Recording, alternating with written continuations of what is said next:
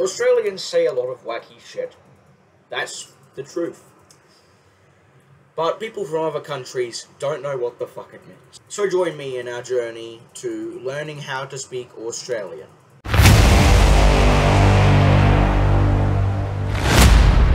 Disclaimer, don't take any of this shit seriously, it's just fucking making fun of everybody at my school. Afternoon, Arvo, barbecue, Barbie, nerdy, daggy, sick, feelin' crook, breakfast, brekkie, McDonald's, Macca's, Duncan.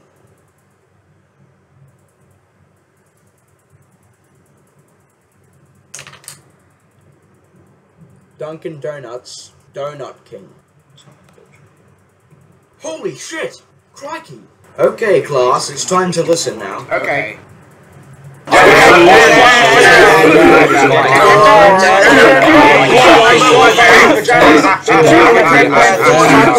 Child property. I'm sorry.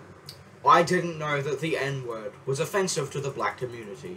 I will try my best to not say that in the future.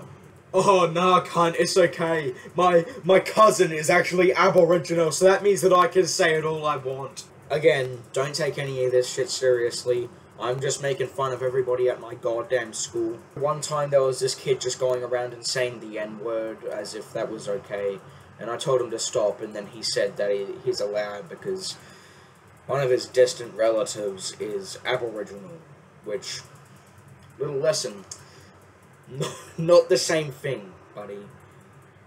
Africans and Aboriginals are two different people, is what I said here. I said people.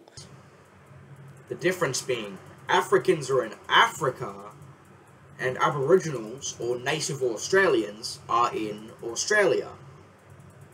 You fucking dumbass. Seriously, Luke, what's your fucking problem?